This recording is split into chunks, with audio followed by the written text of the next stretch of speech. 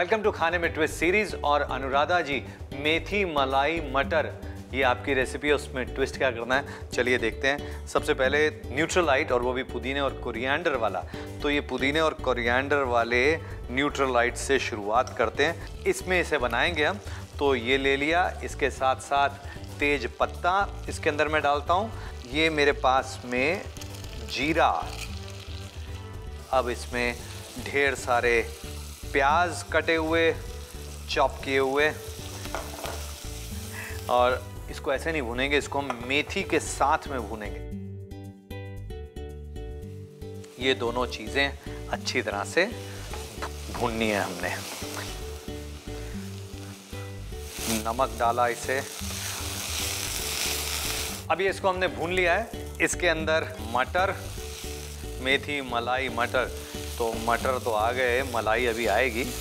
तो इसके साथ साथ इसमें हम डालते हैं थोड़ी नटीनेस काजू की पेस्ट काजू पिसे हुए इसके अंदर। और अब बेलीफ इसका काम हो गया। इसके साथ साथ इसमें थोड़ा पानी।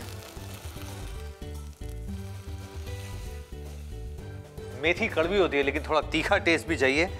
और तीखे टेस्ट के लिए हरी मिर्च। उसके साथ साथ थोड़ा अदरक और लहसुन का पेस्ट, मिल्क पाउडर,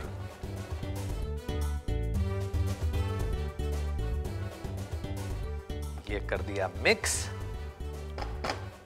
अच्छा जो अनुराधा जी हैं, उन्होंने कहा है कि थोड़ा इसके अंदर पनीर भी डालें तो हम पनीर भी डाल देते हैं। पनीर इसके अंदर आ गया और फिर इसके साथ साथ इसमें गरम मसाला पाउडर ये डाला।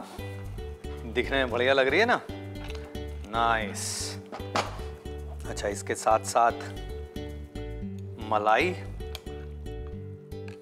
चाहे तो थोड़ी सी क्रीम भी डाल सकते हैं। और इसको कर देते हैं मिक्स धीमी आँच पर इसी तरह से थोड़ी देर तक और इसको पकाएँ। And that's it don't have to do anything else तो कैसी लगी आपको हमारी खाने में ट्विस्ट सीरीज़ पसंद आई होगी। वैसे घर का जो बोरिंग खाना है, उसको भी आप अलग कर सकते हैं। उसमें भी हेल्दी और डिलिशियस ट्विस्ट लेके आ सकते हैं। और अपने सुझाव, अपनी सजेशंस आप शेयर करें। हैश खाने में ट्विस्ट में।